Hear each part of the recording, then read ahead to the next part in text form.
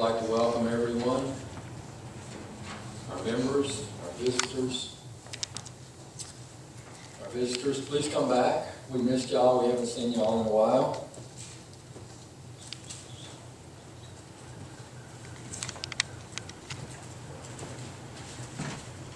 Before I get started, I need to make sure me. Ah, here we go.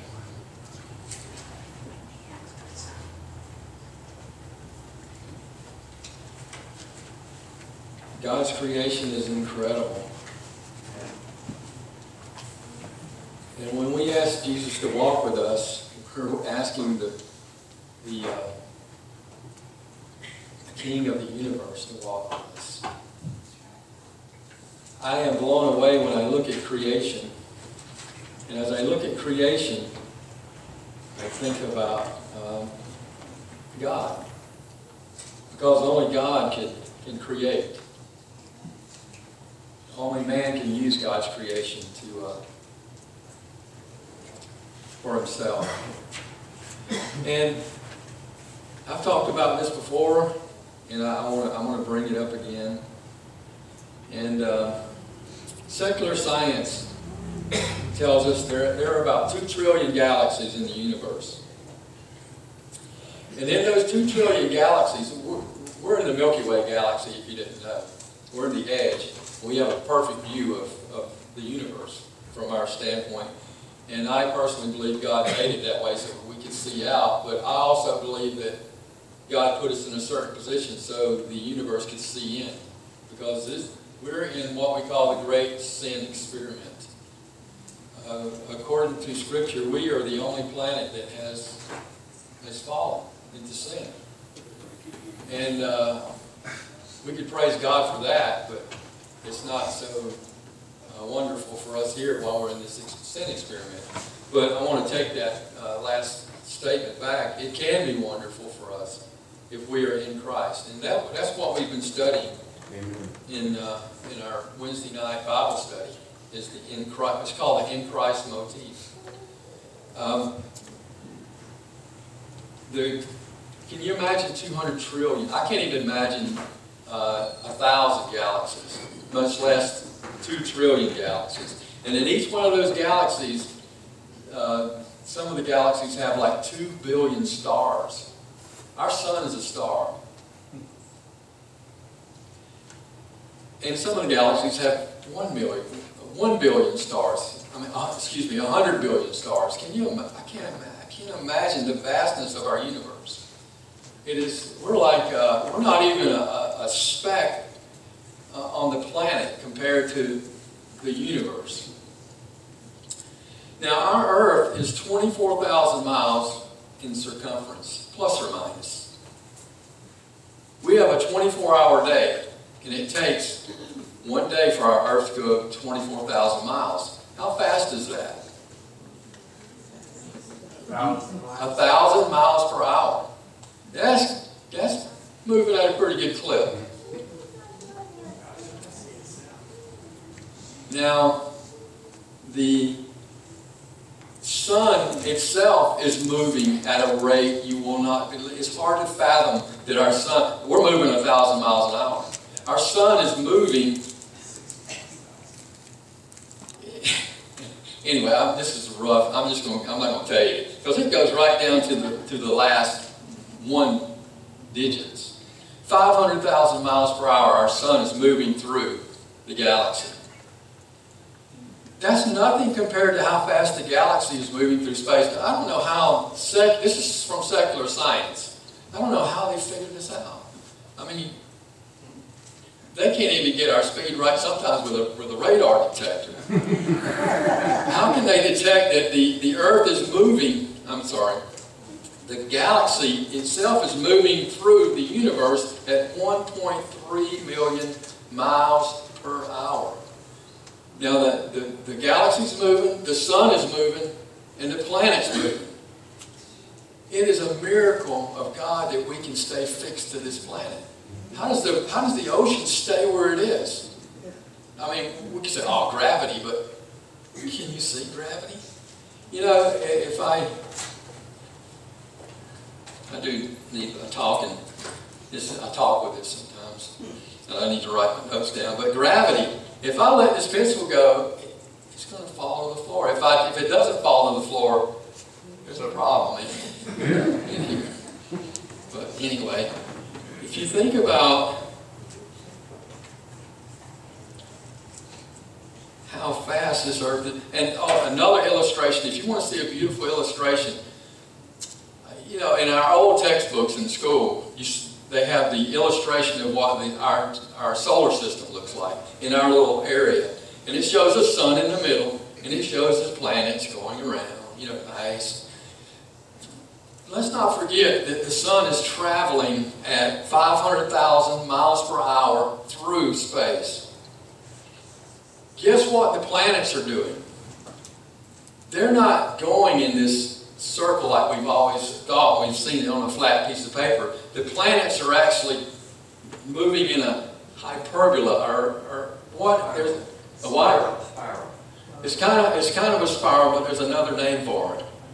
But it but you get what I'm talking about. It, every planet is, is traveling and keeping up with the sun. There's a there's a beautiful illustration on the internet for that. If if um, I'm at a loss for words this morning. Ellipsis, elliptical?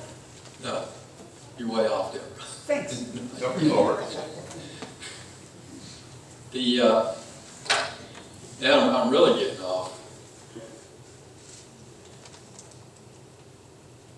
Uh, there's some folks that, that aren't here today that hate my dead space, but sometimes I have to stop and think about what I want to say. You know, we, uh, we see God's creation. Oh, I, can't, I just can't believe that I can't remember this.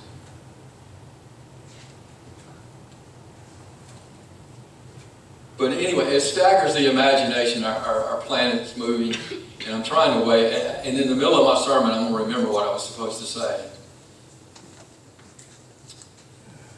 Now, God has created. It's not coming to me. We get it. Thank you, Don. Yes, Brianna. No, that's not it. That's, that's good, though, darling. Thank you. Now, God has created this vast universe, and it's incredible that He also created us, and He created us in His image. And when, when God created the first human being, He named him Adam. And if you look up the word in Hebrew, Adam means mankind.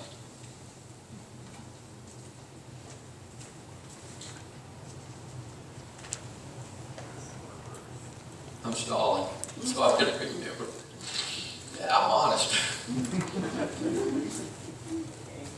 so when Adam, when God made Adam, I, I believe that it says that God uh, took the dust of the earth so to, to, take the dust of the earth, if God was standing, he'd have to kneel down and take the dust of the earth.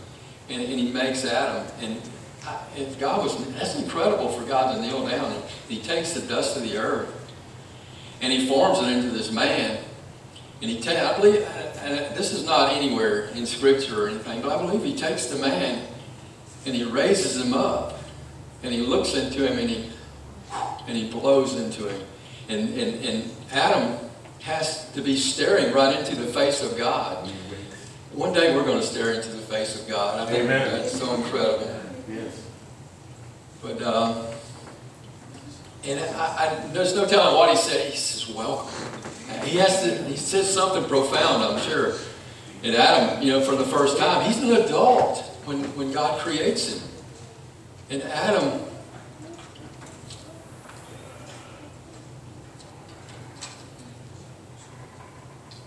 is the first man that was created. He is the prototype.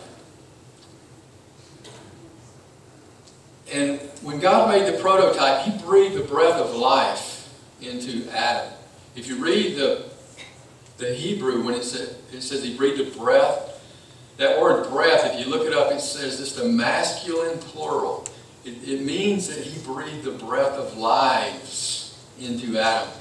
And if you read Acts 17, 26, it said that God made every man from one blood. So we all came from the same blood. We all came from Adam.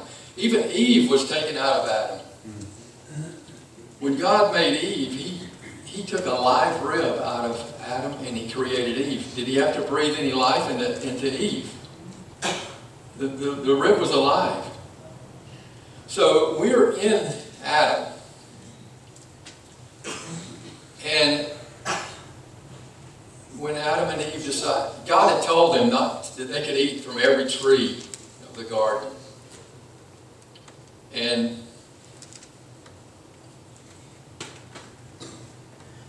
except for one tree. And it was the, the tree of good and evil. God said, if you eat from that tree, I'm going to kill you. Did God say that?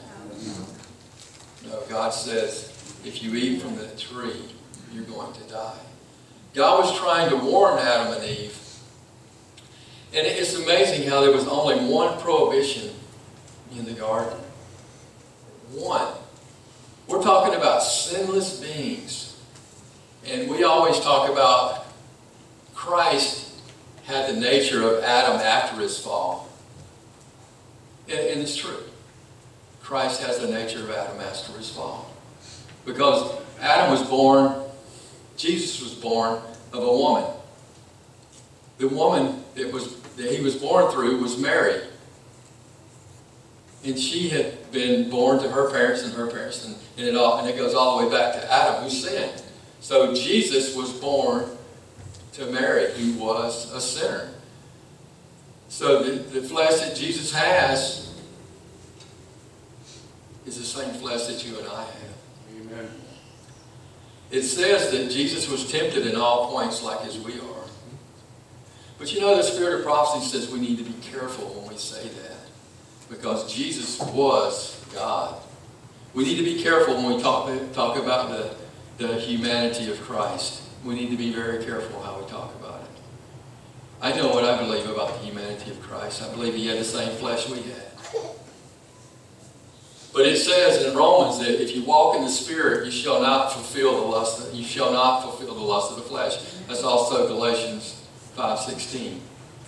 I believe that Jesus never fulfilled the lust of the flesh because he always walked in the Spirit. He there was not a time when Jesus didn't walk in the Spirit. When Adam sinned, we were in Adam. And it's said that it's not fair that it comes, the condemnation comes down to us. But before I finish my sermon, I hope this showed that's not true. Now, let's go to uh, our Bible, and I want to go to uh,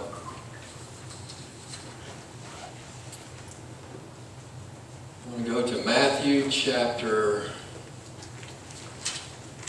21 in verse 33.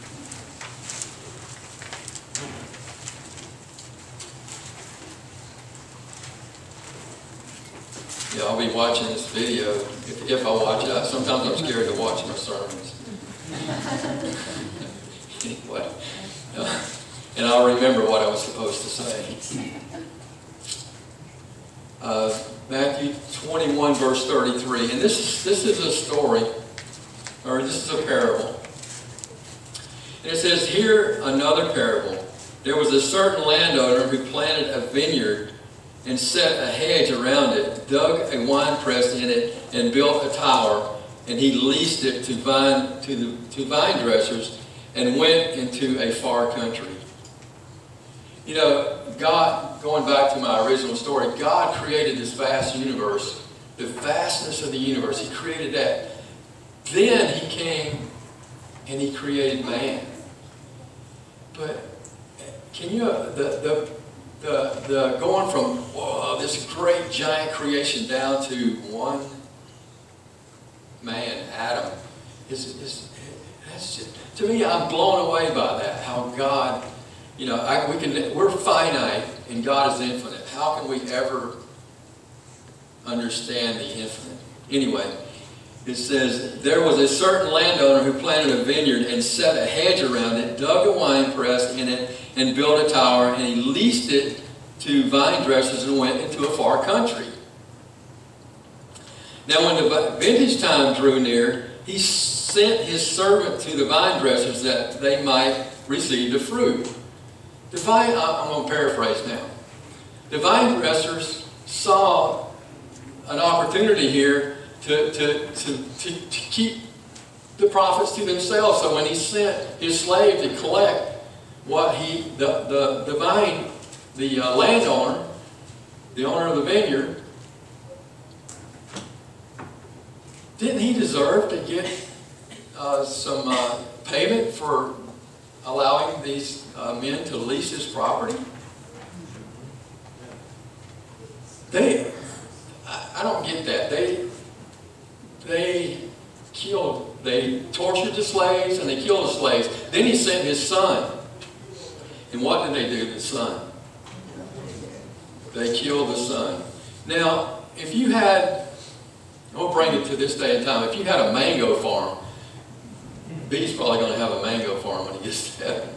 But he's always talking about mangoes. But if you, if you have a, if you had a mango farm and you let some men come in and take care of your mango farm, and you were over in uh, Europe somewhere taking care of other business with your family, and it was time for them to make a payment because they were leasing your mango farm, and they decided, well, we're not going to pay you. Wouldn't that upset you?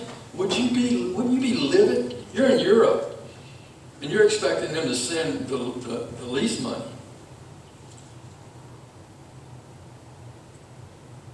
Nothing comes.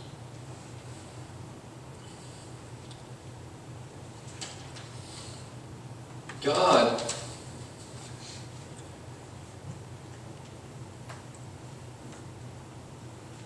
He, when he created Adam, Adam was his property.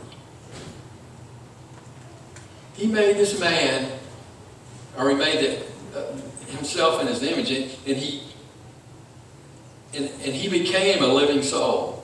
God didn't get, I, I don't want to get into, into theology, but God didn't uh, give this man a soul. You need to look at that real close in the scriptures. God didn't give him a soul. He created him a soul. He made him a, he made Adam the steward of this creation that he had. And God gave him one prohibition. He said, don't eat of that tree. One prohibition. Adam ate of that tree.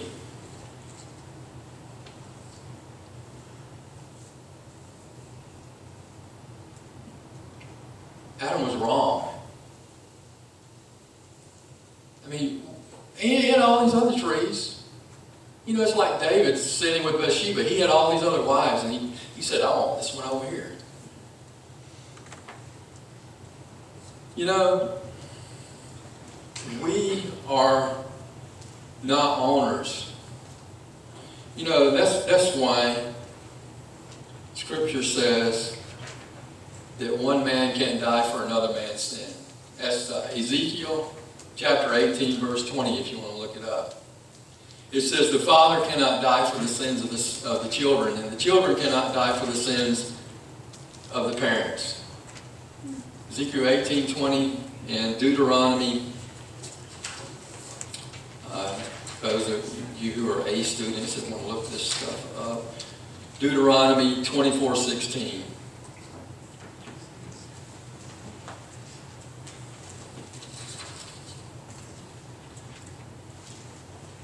The reason you can't die for another man's sins is because you don't belong to yourself. You can't give yourself for another man's sins because who do you belong to? You belong to God. You cannot give yourself as a sacrifice because you're giving away God's property. We are God's property. We, we- that, that, I, I guess if I could rename my, the title of my sermon, We Are God's Property.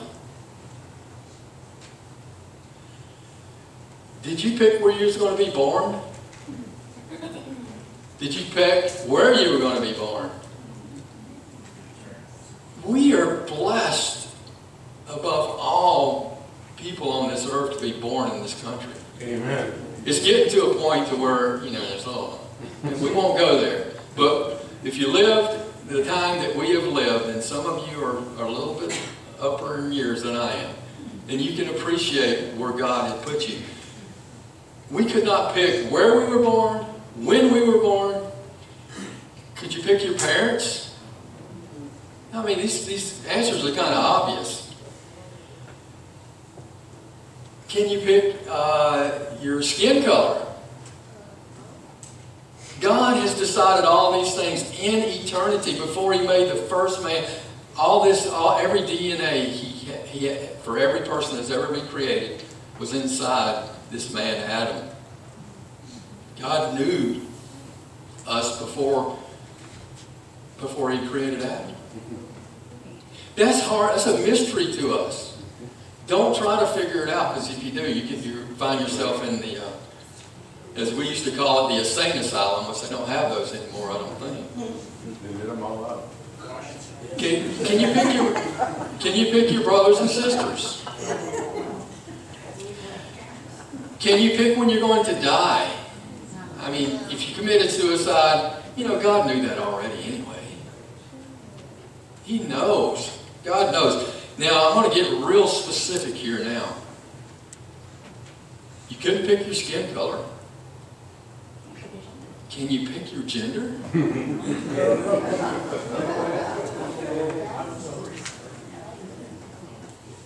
There's something going on in our country right now, and it's everywhere. It says, my body, my choice.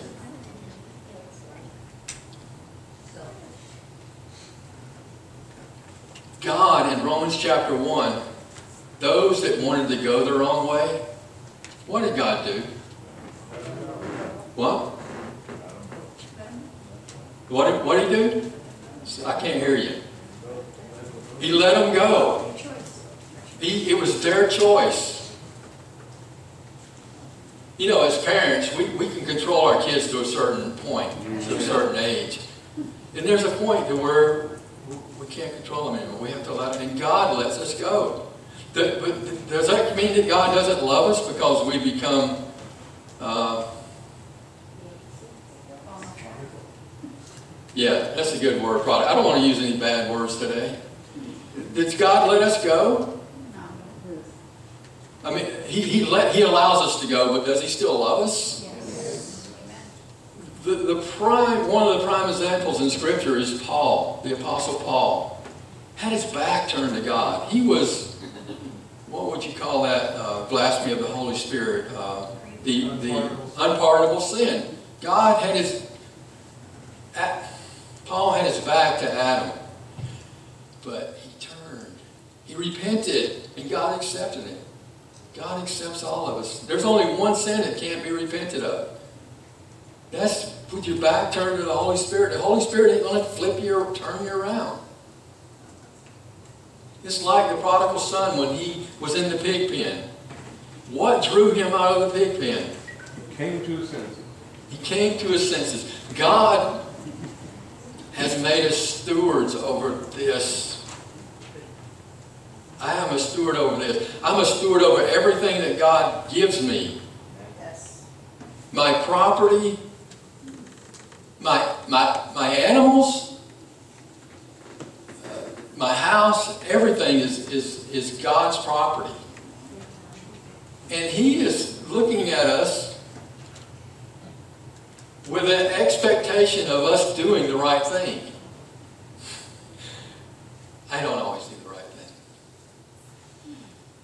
But that's why we are here today. We want to ask God each and every day, as David asked God, He says, create in me a clean heart, O God. Renew a right spirit in me.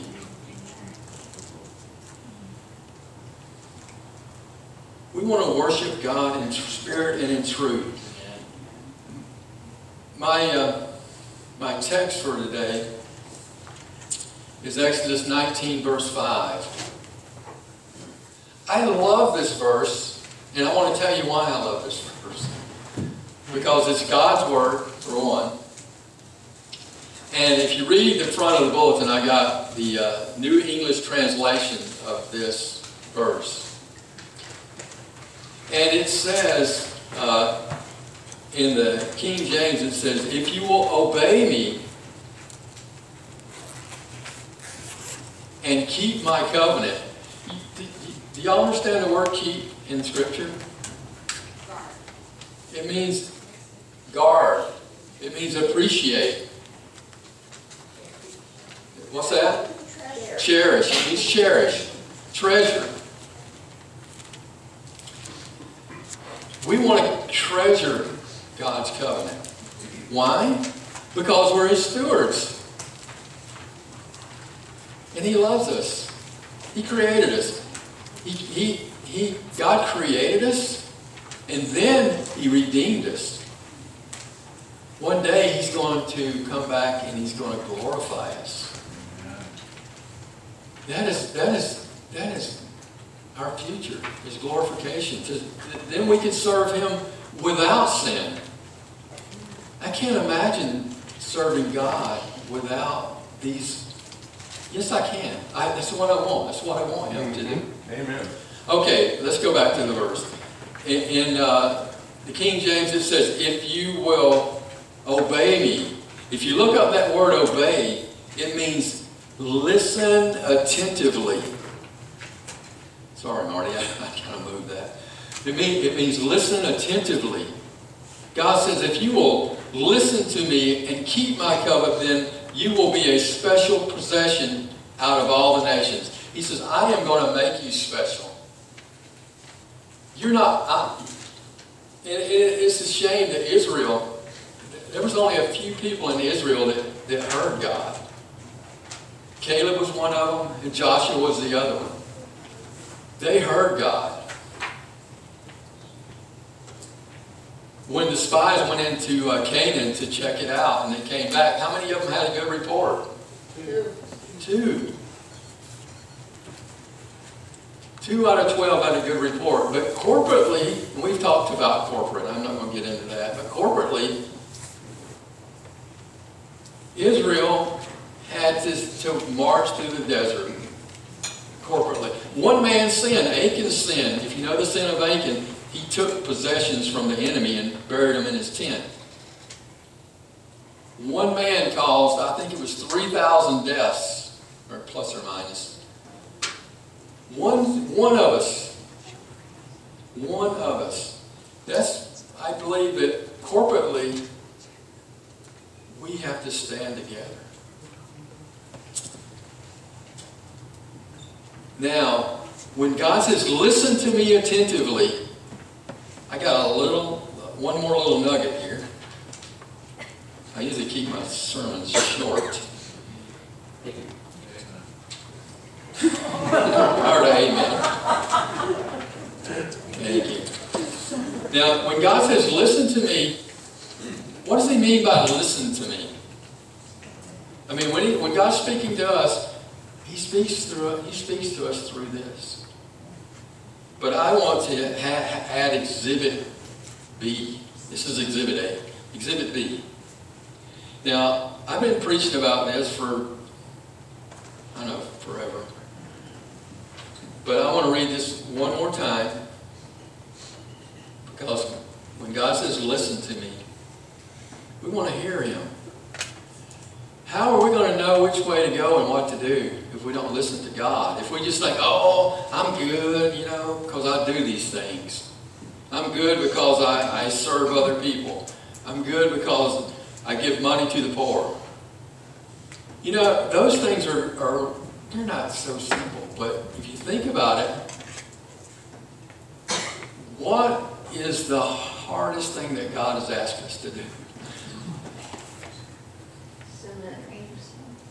To die to ourselves. To die to ourselves. We belong to Him. I mean, there's stuff in the spirit of prophecy and in the scripture that will condemn each one of us. That's why we ask for the clean heart. We want to be ready when God comes. And we can't be ready if we don't listen to Him attentively. We can't go about thinking that we're good and then come to find out when, when we get to the pearly gates and we say, you know, I deserve to go in. And, and Jesus looks at us and says, I don't know who you are. I'm sorry. I never knew you. I don't want to hear those words. God says, listen to me attentively. How, how can he say that to us? Do we belong to ourselves? No. We belong to him. So he has every right to say in his word,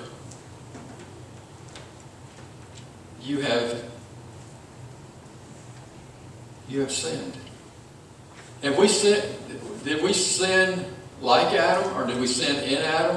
Which one? Which one is it? Did we sin like Adam? No, no, we can't be condemned by, for another man's sin. I'm sorry, I didn't mean to say it like that.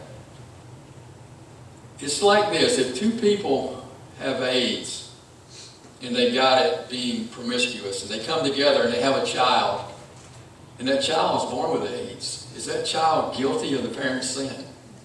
No, but he's condemned. That is our, that's where we are. We are condemned because of Adam's sin. But we sin like Adam.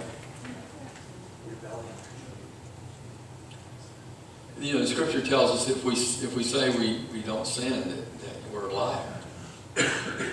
anyway, I, I want to I'm going to wrap this up, but I, I want to read this. It says, and this comes from uh, the uh, Selected Messages, Book 1, page 32, The Lord's Messenger.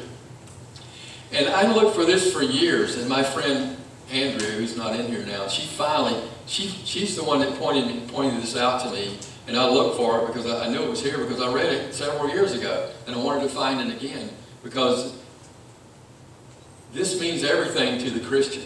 This is why we can say, when God says, uh, why should we listen to the Seventh-day Adventist? Why are they God's church? Uh, Jesus is the prototype. Let's go to uh, Colossians chapter 1 and verse 18.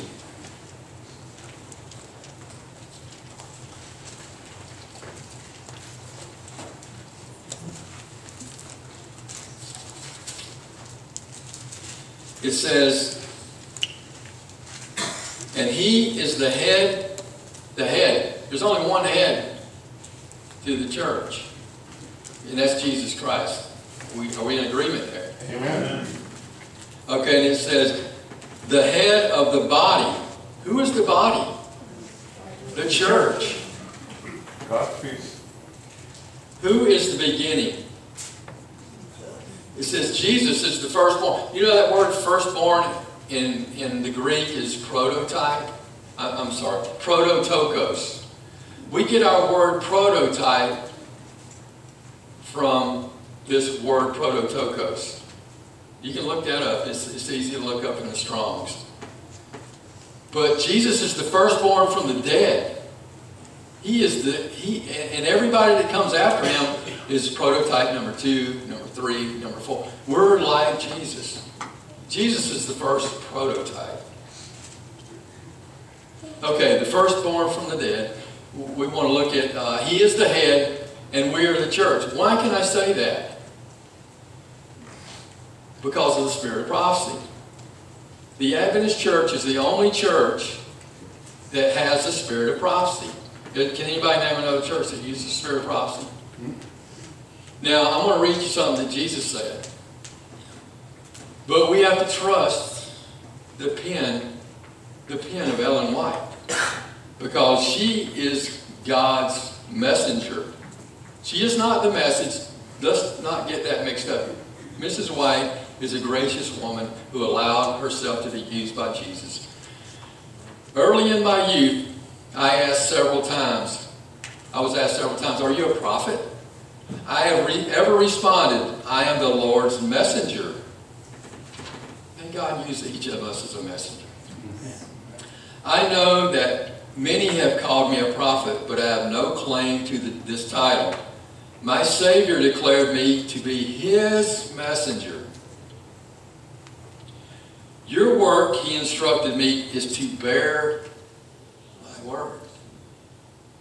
This, this, we can't get around that. Jesus said, Your work is to bear my word. Strange things will arise, and in your youth I set you apart to bear the message to the erring ones, to carry the word before unbelievers, and with pen and voice to reprove from the word actions that are not right, exhort from the word, from the Bible.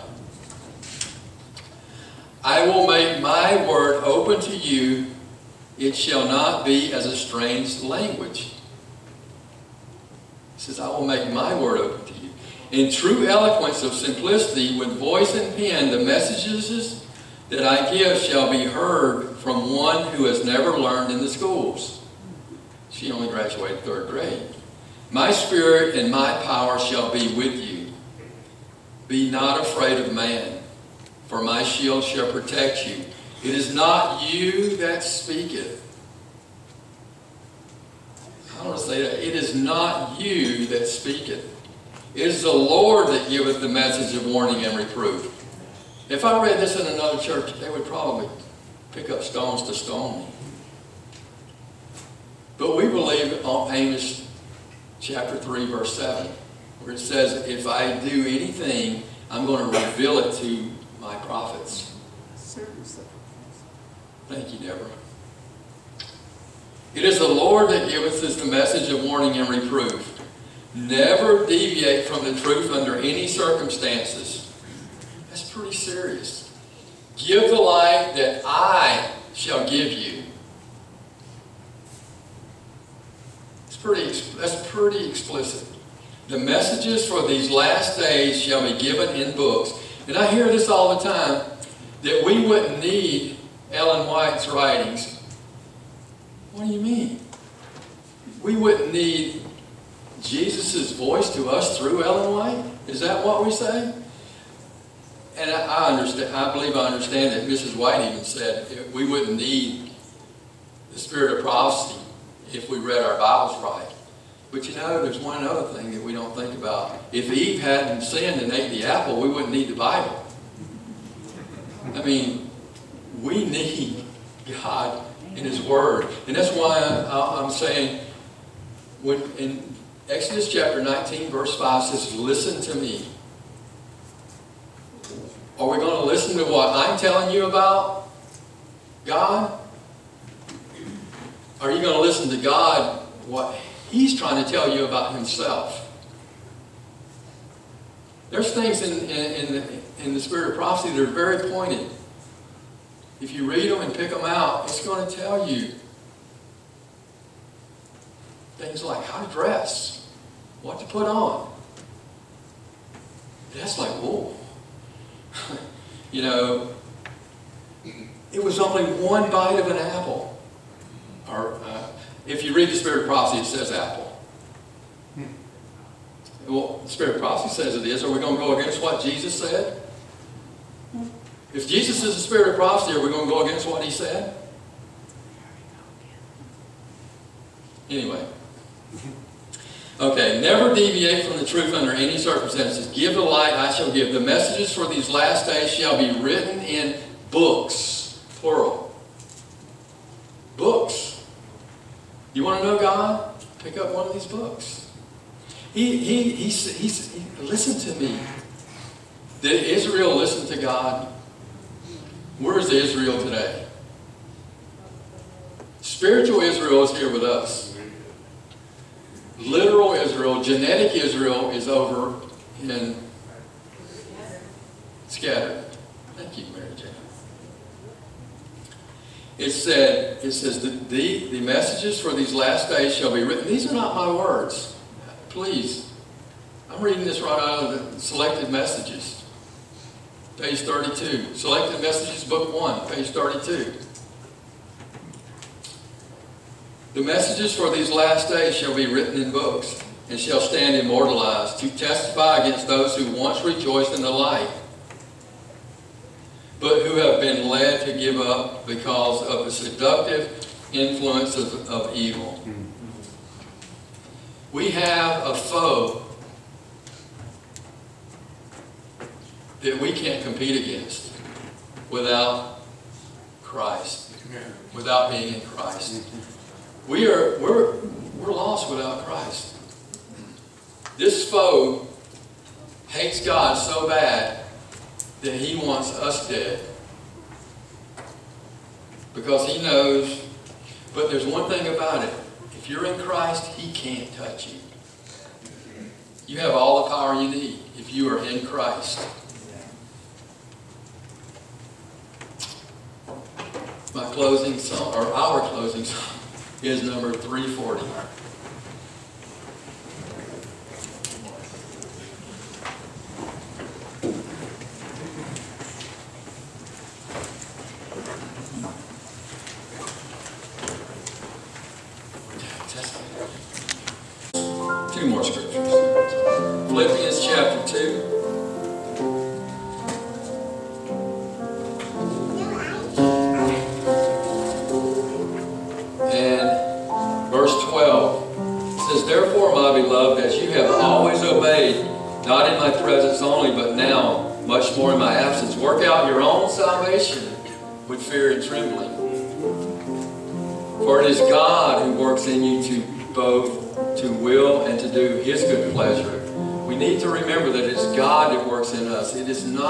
Us who work in each other's life.